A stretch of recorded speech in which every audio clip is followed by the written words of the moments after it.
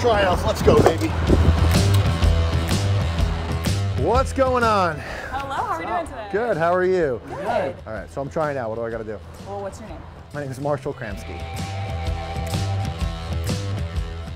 If I hit 70 miles an hour, What do you got? I throw out a first pitch of the game this year. Okay. How'd you end up here? Found a dream, man.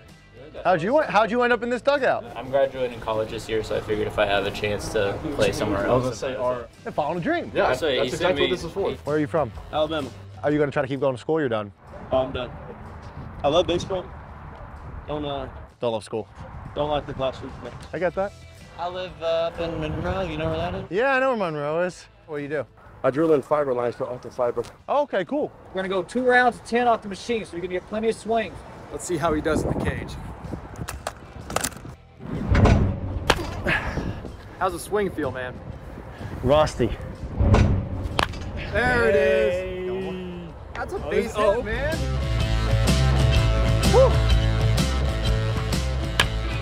He's showing out. No, my dad, my dad's been up there uh, listening. He said they've been talking about him here and there. I think they're actually gonna have batters against me. I'm like shocked. Adrenaline's flowing a little bit, not gonna lie. There it is. Uh, that was nice. Has he got it? Oh, Raheem and I on the same page. I do it? I hit it? Yeah. I pitched against you. What'd you think? You filled it up. I mean, what's the, what's the biggest thing? How do you get out? Those strikes. Do you throw strikes? I got you out. Yeah, exactly.